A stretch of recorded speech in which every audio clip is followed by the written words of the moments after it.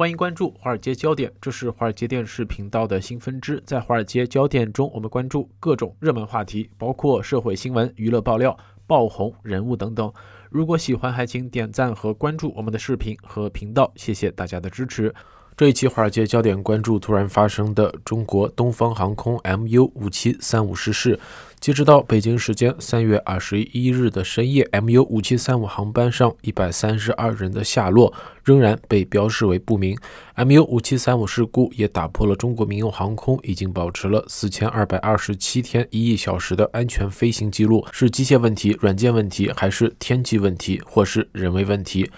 关于 MU 五七三五有很多问号。根据中国媒体财新报道，东航一架波音七三七客机在三月二十一日执行昆明至广州航班任务时，在广西省梧州上空失联。事故当天即三月二十一日下午，中国民用航空局确认该飞机坠毁，机上人员共一百三十二人，其中旅客一百二十三人，机组人员九人。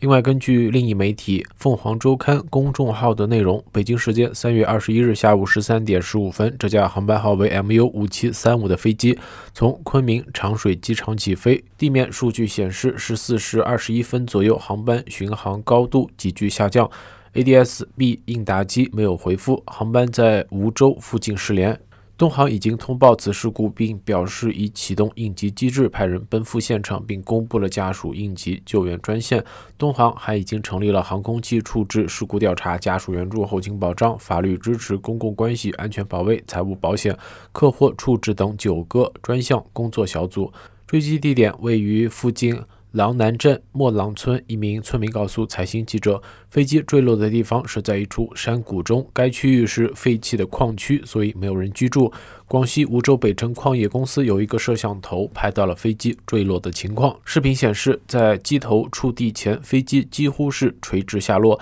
该公司人士确实了视频内容属实，飞机坠毁位置确认为广西梧州市。朗南镇莫浪村神堂表附近的山林。根据中国官媒央视引述广西梧州市消防支援支队政治委员欧林表示，救援队伍到达现场之后，立即组织展开对山林火灾的扑救和人员搜索。但他表示，现场地处偏僻，是三面环山的山坳，也没有通电，夜间照明比较不容易。他说，目前搜救工作仍在进行。目前到达现场的救援力量，除了消防外，还有梧州市公安、应急救援分队等。但进入山坳只有一条小路，大型装备也上不去。MU 五七三五坠毁之后，航班目的地白云机场在当地的 T 一航站楼二十九号门外附近也开辟了临时接待区，安置准备接机的乘客亲友。工作人员为他们准备了食物和水，一对一负责安抚情绪。东航的工作人员则负责核对名单。中国官媒央视记者从广西藤县应急管理局获悉，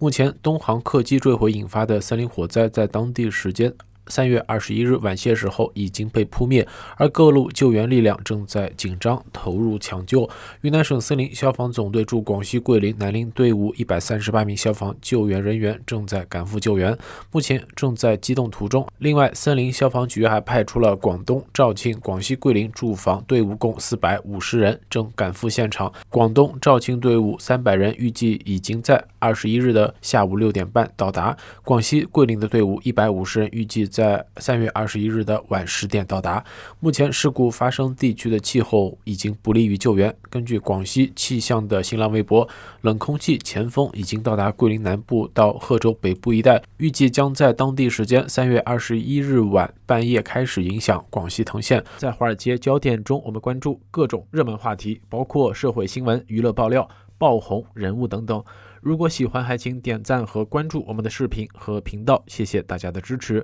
而据出行类应用非常准 APP 的数据，在三月二十一日下午十三点十五分，中国东方航空 MU 五七三五航班由昆明长水机场起飞，前往广州白云机场。航班原计划在当地时间下午三点左右降落。该机型为波音七三七八百 G 零六点八年，可载乘客约一百八十九人。此时涉事的航司为中国东方航空云南有限公司。司，其前身为成立于1992年7月的中国云南航空公司。在2002年，按照中国国家航空企业改革重组战略的要求，原云南航空公司与中国东方航空联合重组，成为其下属的航空运输企业。在2005年6月实施主辅业剥离。主业资产全部注入东航股份公司，同时更名为中国东方航空云南有限公司，为东航子公司。在二零一零年七月二十八日，由东航集团所属的东航股份有限公司与云南省国资委共同投资筹建，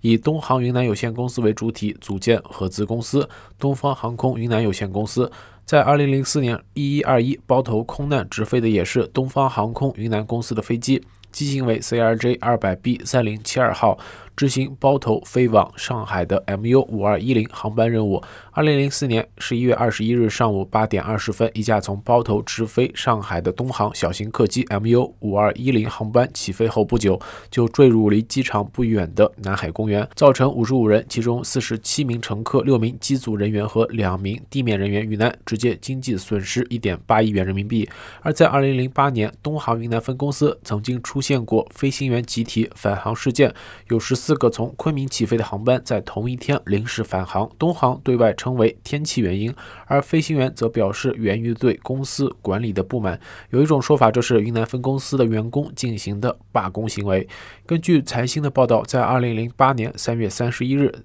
中国东方航空云南分公司的十四个从昆明起飞至不同目的地的航班，在同一天出现了临时返航事件。十四个航班分别飞往大理、丽江、版纳、芒市、思茅和临沧等地。这些航班在到达目的地上空之后，乘客被告知无法降落。并返回昆明，导致昆明机场更多的航班延误、被耽搁，行程的旅客在昆明机场对此表示极为不满，纷纷要求退票或改签。向东航有关部门核实集体返航的原因，相关人士证实，确实当天共有十四个航班未到目的地就返航。他们称，这是由于云南三四月份的天气不稳定，航路遭遇稳流，因此被迫返航。相关人员还表示，今天我们只有三个航班返航，运行已恢复正常。财新的这篇报道中也提到，一些旅客表示，同样是昆明飞往这些目的地的其他航空公司的航班则顺利到达，为何东航的航班却要临时返航？对于这一疑问，东航的相关人士则没有给出解释。一位接近此返航飞行员的律师证实，这些飞行员是因为对公司的管理问题不满，而最终导致了此次集体返航事件。他称，他们希望公司能重视他们并解决问题。如果问题不能解决，他们也可能会选择辞职。而据南方都市报报道，在事发前，该公司的飞行员宿舍中流传了一份公开信，隶属了飞行员的不满原因，其中包括待遇偏低、针对飞行员的检查使飞行员的自尊心受到了极大伤害、工资和补贴标准没有与税收标准接轨，认为飞行员辞职遭天价索赔是不公平之举。财经的文章还提到，类似的罢工情况不单出现在了东航，亦发生在了上航。在2008年3月14日，上海航空737机队有。四十多名飞行员提出集体请假，这一行为影响到了航班的正常执行。知情人士透露，此举的主要原因是飞行员想提高目前的待遇，并督促上航改善管理。距今，最近的一次中国民航客运飞机空难是二零一零年八二四伊春空难，原河南航空一架 ERJ 一九零飞机执行哈尔滨至伊春的航班任务时，在黑龙江省伊春市林都机场跑道附近坠毁。部分乘客在坠毁时被甩出机舱，事故造成了四十四人遇难，五十二人受伤。在二零二二年二月二十五日，民航局相关负责人曾宣布，中国民航持续安全飞行突破一亿小时，一百三十七个月，创造了中国民航史上最好的安全成绩，也创造了世界民航史上最好的持续安全飞行记录。东航 MU 五七三五事故终结了中国近十二年四千多天的安全飞行记录。时隔近十二年后，中国。民航业再度发生了空难事故。中国媒体财经旗下专注交通领域咨询和深度报道的公众号“出行一刻”在 MU 五七三五事故发生之后。采访到了航空业内人士，在黑匣子都还未寻获的前提之下，业内人士分析了 MU 五七三五事故可能的三大原因。首先，MU 五七三五的实时飞行数据显示，在三月二十一日十四点二十分，飞机高度八千八百六十九点六八米，十四点二十二分高度为一千三百三十三点五米，当梧州当地的海拔约为二百至三百米左右。一位民航飞行专业人员认为。巡航阶段出现这种事非常离谱，有可能是雷击或机械故障。飞机飞行一般分为三个阶段：一、起飞爬升；二、巡航；三、静静着陆。起飞爬升和进境着陆阶段，飞行员要做的事情特别多，如果忙中出错就会引起事故。但是平飞巡航阶段，飞行员是特别清闲的，基本上就是收听回复无线电，监控一下飞机状况，都是交给飞机的飞行系统自己飞行的。那能够导致事故的，无非就是天气或者故障。民航业内人士李汉明介绍，客机巡航高度在几分钟内急剧下降，这种情形的事故一般有几个原因。其一是飞行员有意自寻短见，其二是被导弹等物打了下来，其三是飞机设计或维修保养的问题。而针对机械故障的推测，在 MU 五七三五事故发生之后也迅速升温。这里提一下，在一些讨论 MU 五七三五事故中出现的概念叫海恩法则。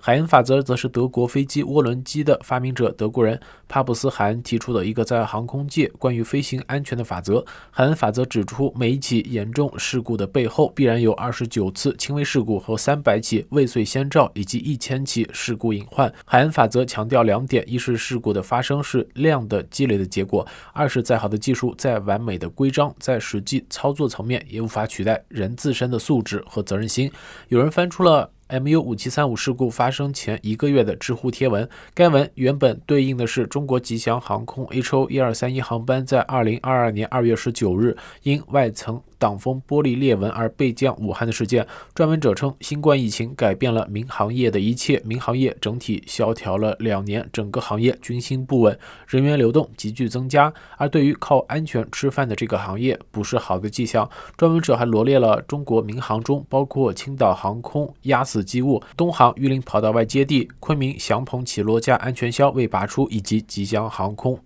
客机风挡、大面积蛛网裂纹事件，并称以上航空安全问题都发生在一年之内。中国民航业从未有过如此差劲的安全记录。而在 MU 五七三五事故发生之后，关于质疑东航在上百亿巨额亏损压力之下严控维修费用、压降成本的文章也出现在了中国互联网。不过很快，东航对此予以回应。东航权威人士表示，网传消息不是真的。中国东航致力于提供安全可靠的维修工程服务。根据年报披露数据，年维修成本二零二一年较二零一九年增加了百分之十二。根据中国媒体界面新闻报道，东航云南分公司一名职工表示，目前东航在昆明机场进出港的航班大面积取消。今天 MU 五七三五航班发生事故之后，云南分公司通知取消员工年假。另一家媒体时代财经则发现，波音七三七系列是中国国内三大国有骨干航空集团机队规模中持有占比较高的机型，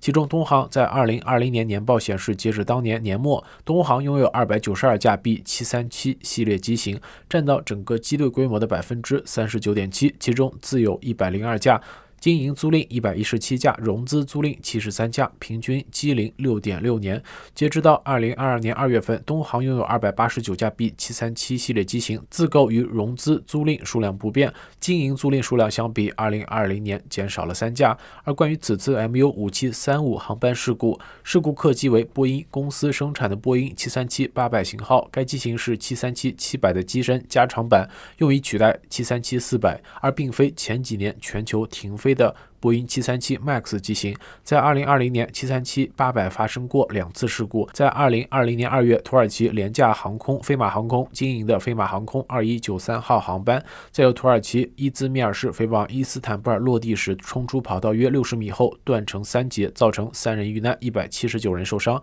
在五个月之后，印度快运航空一三四四号航班自阿联酋至印度执行航班任务时，降落时冲出跑道坠入低地，导致机身折断，二十一人遇难，七十五人受重伤。根据中国政府官网上有民航专家解释过航空器事故调查流程，分为搜寻、救援、调查、通知和响应、现场调查、实验验证、原因分析、提出安全建议、调查报告编写发布、安全建议的落实整改等。愿逝者安息，希望能尽快寻获 MU 五七三五的黑匣子，再把事实真相调查清楚。以上就是今天华尔街焦点的所有内容。这是华尔街电视频道的新分支，在华尔街焦点中，我们关注各种热门话题，包括社会新闻、娱乐爆料、爆红人物等等。如果喜欢，还请点赞和关注我们的视频和频道，谢谢大家的支持。